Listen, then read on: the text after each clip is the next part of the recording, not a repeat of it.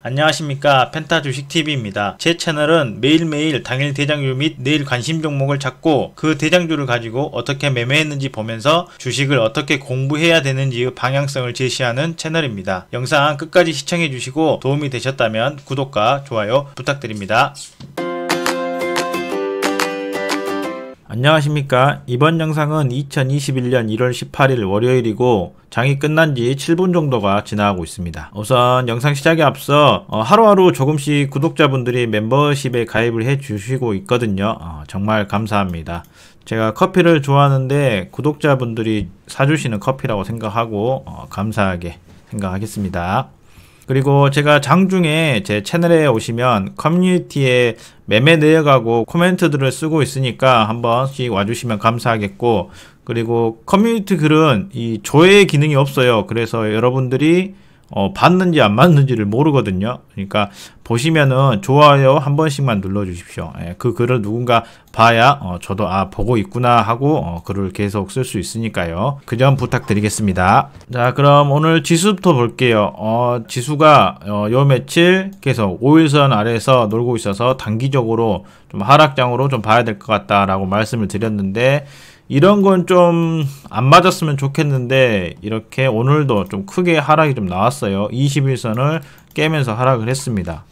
분봉으로 봤을 때 오전에 급격하게 바로 하락을 하고 어, 땡겨 주길래 아 다행이다 라고 생각을 했어요 그리고 나서 좀 이렇게 놀다가 위로 쳐주길 바랬는데 점심시간 넘어가면서 줄줄줄 흐르더니 저가를 깨면서 내려와 버렸습니다 왠지 여기 깬 건 셀트리온 영향이 좀 있었던 것 같긴 한데 뭐 그런 걸 무시하고라도 어쨌든 어, 지수가 하락을 하고 있는 상태입니다. 그러니까 여전히 지수가 5일선 밑에 있으니까 5일선 위로 올라오기 전까지는 자기 돈을 지키는 매매를 해야 될 것 같아요. 제가 누누이 이 떨어지기 전부터 계속 말씀을 드렸지만 지수가 상승할 때는 원래대로 하고 그다음에 지수가 떨어질 때는 자기 원금을 어, 돈을 더 벌기보다는 잃지 않고 지키는 게 중요해요. 그러니까 자기 계좌가 상승장일 때 벌고 하락장일 때는 좀 지키고 그 다음에 상승장일 때 벌고 하락장일 때 지키고 이런 식으로 가야 되는 겁니다. 지수는 이렇게 보겠습니다.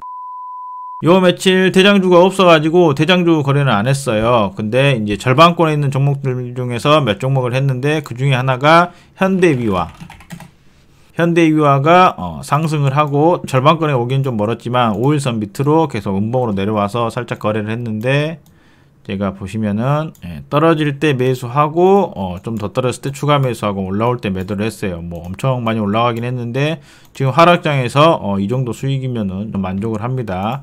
그 다음에 한 종목이 더 있었는데 그게 현대로템. 네, 현대롭텐도 지금 상승을 하고 떨어지는 와중에서 여기서 한번 반등 나오고 다시 저가를 깨고 내려가고 있는 상태에서 저가를 깼을 때 여기서부터 좀 잡아 들어가려고 했는데 1차 매수만 되고 바로 올라가 버렸어요. 그래가지고 올라갔을 때 매도를 하고 끝난 모습입니다. 오늘 거래는 이 두 개밖에 하지 않았어요. 어, 지금 이제 다른 종목들은 지금 사 들어가는 게 있고 사 들어가는 게 어, 매도가 되면은 어, 그때 알려드리도록 하겠습니다. 오늘 매매는 이렇게 했고 어, 그러면 오늘 대장주와 내일 관심 종목 한번 찾아보도록 하겠습니다.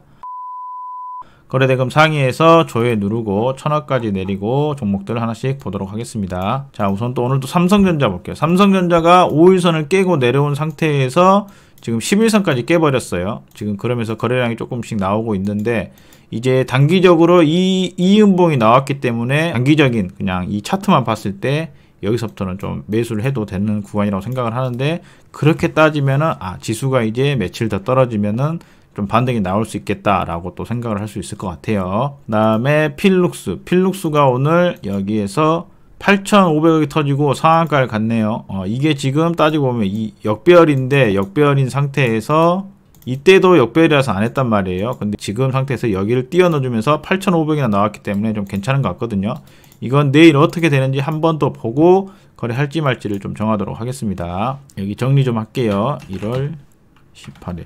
다음에 계속 보도록 하겠습니다. 셀트리온. 이 셀트리온도 잠깐 보면 셀트리온보다는 저는 셀트리온 시리즈 중에서 셀트리온 헬스케어를 좀 대장으로 보고 있거든요.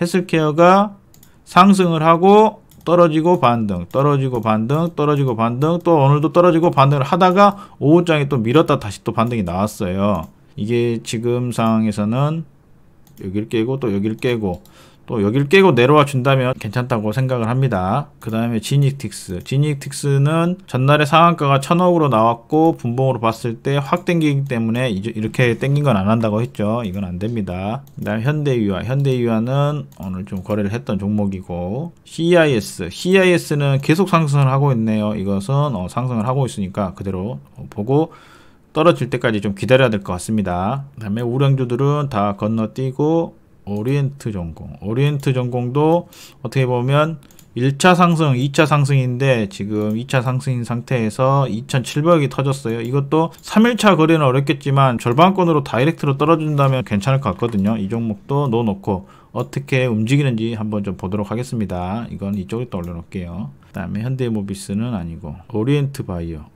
오리엔트 바이오는 오리엔트 정공하고 똑같이 움직였는데 이건 뒤에서 나왔기 때문에 이건 그냥 패스하겠습니다. 셀리버리도 뒤에서 나왔고 나인테크는 아직 좀 전고점 위치에 있는데 이 나인테크가 여기를 뛰어넘어주는 어, 강력한 봉이 나오면 좀 대장주가 될 수 있을 것 같아요. 근데 그 봉이 나올 때까지 기다리는 게 맞겠습니다. FNC FNC는 그냥 상승을 하고 있고 쎄트렉아이 쎄트렉아이는 아니네요.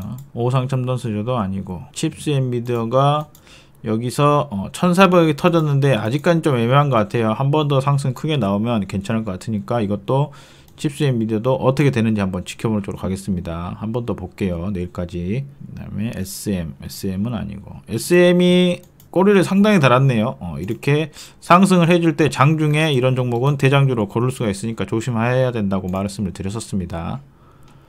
팜스토리. 팜스토리가 어, 지금 여기에서 1300억이 터졌는데 이것도 보긴 했었는데 이렇게 다이렉트로 상한가를 갔잖아요. 어, 이런 종목은 안 한다고 했죠. 대한항공 아니고 한국파마. 한국파마는 1, 2, 3, 4. 4연상을 가고 있네요. 이런 종목은 확실히 절반권 떨어지면 좋을 것 같아요. 기다려 보겠습니다. 알체라는 아니고 수산중공업이 높은 구간에서 이렇게 돼 있기 때문에 이 종목도 3일차 거래는 힘들 것 같습니다. 그린케미칼 아니고 MC넥스 이것도 지금 상승한 상태가 아니고 라닉스도 지금 아니고 지니뮤직 지니뮤직도 좀 애매하다고 했죠. 어쨌든 이제 대장주가 누군가에 됐다면 3일차는 끝난 것 같아요. 그 이후로 어떻게 움직이는지를 보고 절반권을 할지 말지 보면 될 것 같습니다. 농우바이온도 이렇게 왔는데 어, 조금 애매하고 빅텍 요즘 빅텍에 조금 수급이 이렇게 빅텍에 좀 거래대금이 조금씩 터지고 있어요. 이게 제가 봤을 때는 이 북한 관련일 수도 있겠지만은 조금 지수가 떨어지니까 빅텍에 조금 돈이 몰리는 것 같습니다. 근데 이거는 참고만 할 뿐 거래를 할 수는 없죠. 여기까지가 천억이네요. 오늘의 대장주는 나오지 않았고 이 필룩스랑 칩스의 미디어가 내일 한 번 더 상승을 하는지 보고 거래할지 말지를 정할 거고 지금 지수가 계속 안 좋아요. 안 좋을 때 계속 말씀드리죠. 어, 비중을 줄이던지 아니면 원래 여기서 살려고 했는데 여기는 패스하고 다음 2차 타점부터 매수를 들어가던지 어찌됐든 조금 보수적으로 해야 된다는 겁니다. 주식을 하루하루 매일 거래가지고 돈을 매일 따면 좋겠지만 그건 진짜 힘드니까 장이 좋을 때 어, 번다는 생각을 가지고 장이 안 좋을 때는 돈을 지킨다는 생각으로 가지고 임하는 게 좋을 것 같습니다. 어, 오늘 영상은 여기까지 하고 제 영상 보시고 도움이 되셨다면 구독과 좋아요, 알람 설정까지 꼭 부탁드리겠습니다. 감사합니다. 매일매일 당일 대장 조합, 내일 관심 종목을 알아보는 펜타 주식 TV와 함께 하시죠. 구독과 좋아요 부탁드립니다.